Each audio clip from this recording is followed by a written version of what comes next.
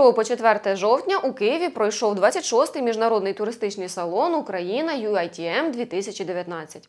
У виставці взяли участь завідувач сектору культури, туризму та охорони культурної спадщини виконавчого комітету Чорнухицької селищної ради Віталій Кусков та власниця етносадиби Бузина Ольга Ліщенюк.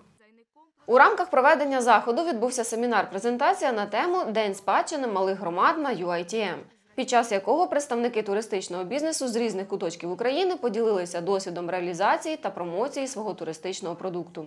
Також на семінарі представники Чорнухинської ОТГ презентували туристичний потенціал батьківщини Григорія Сковороди, зокрема і архітектурну спадщину Опанаса Сластіона.